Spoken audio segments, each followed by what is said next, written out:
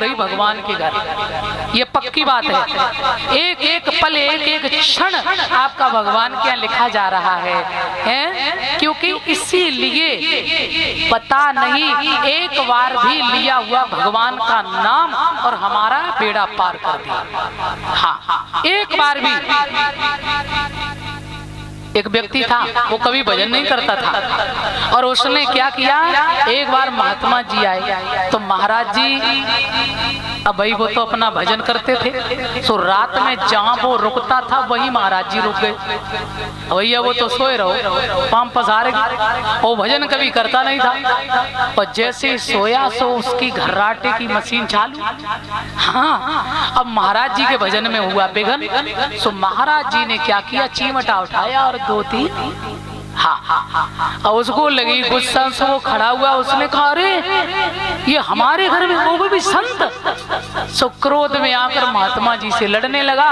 अब महाराज जी थोड़ा ठीक ठाक थे खबे पे तो महाराज जी ने पकड़ा और नीचे घुमा के जो ही पटका तो एकदम से एक ही बार निकली। हाय राम में तो मरे गए सो मरी। और जैसे ही मरे हुए तो पहुँचे भगवान के धाम। और बड़ो बेस हो रहे यहाँ कर। हाँ और भगवान के धाम जैसे ही पहुंचो तो धर्मराज के सामने सब खड़े थे, चित्रगुप्त और ये सब। तो धर्मराज जी ने कहा, भाई, फ़ाइल खोलो इनकी और देखो इन्होंने कितना भजन किया, क्या किया अपने जीवन में? तो जैसे ही फ़ाइल खोली, बोले, महाराज, बहुत बड़ो पापी है। हाँ बोले, ज़िंदगी में कमाऊ नाम लो ही ना भगवान को। क्या बोले? हाँ? बोले? जाओ ले जाओ इसे नरक में डाल दो। पर वो भी बहुत बज्जुर रहे। हाँ। सामने ही खड़ो हो छाती तन बोले ऐसे थोड़े। एक बार फिर चेक करो। ऐसा तो हो ही नहीं सकता कि हमने भगवान का भजन ना किया हो। सो जैसे ही दोबारा फ़ाइल चेक करी तो एक बार जब मरे तब हाय राम में तो मरेगा। अरे महाराज बहुत बड़ा पापी है। केवल मरते समय एक बार इसने कहा हाय राम में तो मर गए अरे डालो इसे नरक में। कहने लगा ऐसे कैसे? अगर आप यही कहते हो तो कम से कम एक बार तो लिया ना तो उसका जो फल बनो हो हाँ, वो पहले दो फिर नरक में।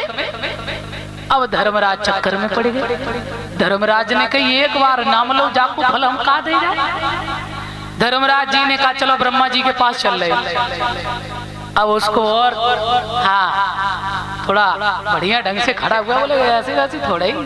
हाँ नीचे से आए और ऐसे खुराफाती जो होते हैं ना, भाई यूँ दंगा कर तो रूंगों कथे जाए तो भगवान उन्हें जल्दी ना लेता है बोल गोविंद भगवान की। तो अब भगवान लेकर चले, उसने कहा, सुना, हम ज़िंदगी में पैदल ना चले कभी बहुत शौकीन रहे। पढ़े न गए तो साइकिल से ही गए। हाँ इसलिए हमें पालकी बैठा के ले चले। भैया, अब धर्मराज जी लगे, हैं? और पालकी में उसको लादा पालकी में लेकर जब चले, और जैसे ही भगवान, यानी ब्रह्मा जी को सामने जब पहुँचे तो ब्रह्मा जी ने देखा, अरे, धर्मराज जी आ रहे हैं तो खड़े हो गए आसन से। आइए आइए, स्वागत है, आइए महाराज, बड़े दिन बाद आना हुआ। बोले, महाराज, काहे को स्वागत कर रहे हो? काहे? बोले, जो बहुत बड़ो पापी खोपड़ी में बैठो, देख रहे क्या हुआ? अरे महाराज, ज़िंदगी में एक बार भगवान का नाम लिया है और कह रहा है कि इसका फल जो हुआ वो हमें पहले दो फिर नरकम। महाराज, तुम कोई उपाय हो तो बताओ, ब्रह्मा जी बोले, जाको उपाय तो हम ना जानता। अब दोनों लोग एक तरफ़ ब्रह्मा जी, एक तरफ़ लगे धर्मराज और पालकी में लेके जा रहे। जे, अब बोले, कहाँ चलेंगे? भैया, अब तो चलेंगे भोलेनाथ के पास। सो जैसे ही भोलेनाथ ने आता हुआ देखा धर्मराज, ब्रह्मा जी और पालकी में सोने सोची, कोई बहुत बड़ा आदमी आ रहा है? सो एकदम से खड़े हो गए। आइए महाराज, आइए आइए, स्वागत है।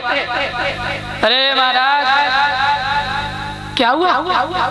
हम बहुत परेशान हैं। इसने परेशान कर रखा है महाराज। एक बार इसने भजन किया, भगवान का एक बार नाम लिया और हम दोनों ही लोग चक्कर में पड़े हो कह रहे हो हम एक बार वो जो फल बनो, वो पहले दे, फिर हम नरक में जाएँगे।